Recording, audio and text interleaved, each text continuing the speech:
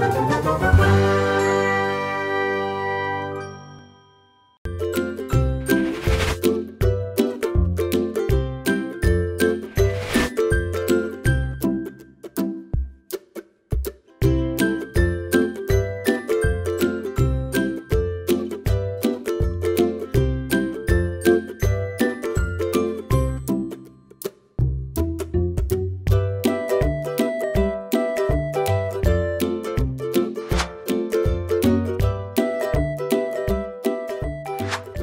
រឿង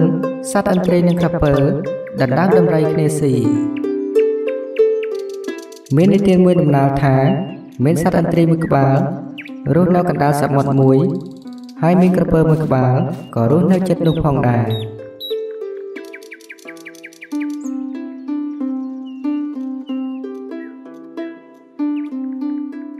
និយាយពីសត្វអន្ត្រីនោះតែងតែហៅទៅឆាប់ដំរី អំពីត្រៃសមុទ្រម្ខាង ហើយយកមកឆៃនៅចិត្តរូងក្រពើនោះជារៀងរាល់ថ្ងៃ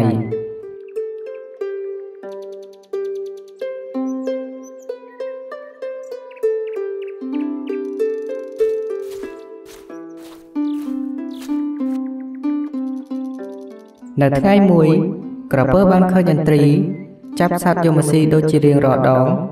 ក្រពើក៏បានគិតក្នុងចិត្តថាអាសត្វអន្ត្រីនេះវាចាប់សត្វដំរី បានជារៀងរាល់ថ្ងៃ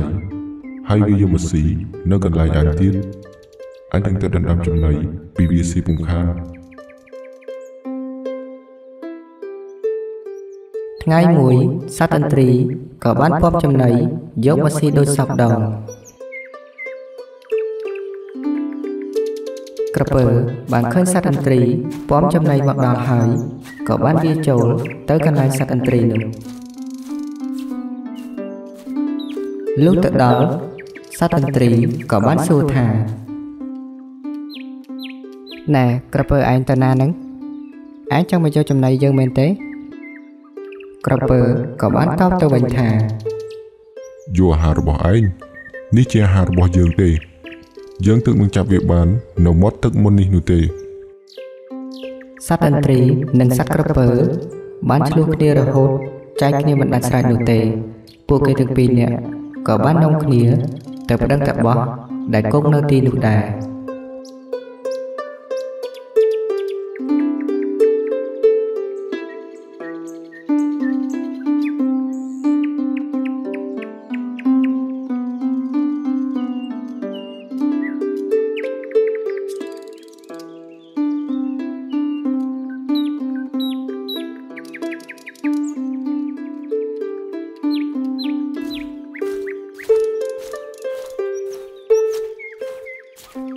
លុះធ្វើដំណើរទៅដល់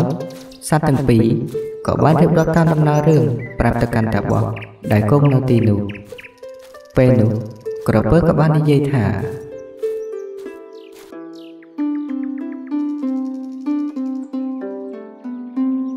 ខ្ញុំបានខំសត្វដំរីមួយក្បាលហើយបានយកទៅឆៃនៅចិត្តរូងរបស់ខ្ញុំ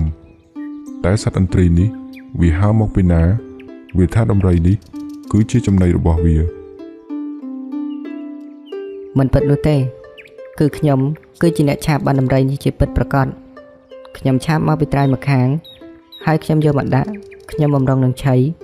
ប៉ុន្តែក្រពើនេះវាថា គឺជាចំណីរបស់វាទៅវិញតាបោះដោះស្រាយនៅកន្លែងនោះមិនចាញ់ក៏បានឲ្យសត្វទាំងពីរនាំមកដល់ទីកន្លែងដែលមានរឿងរ៉ាវកើតឡើង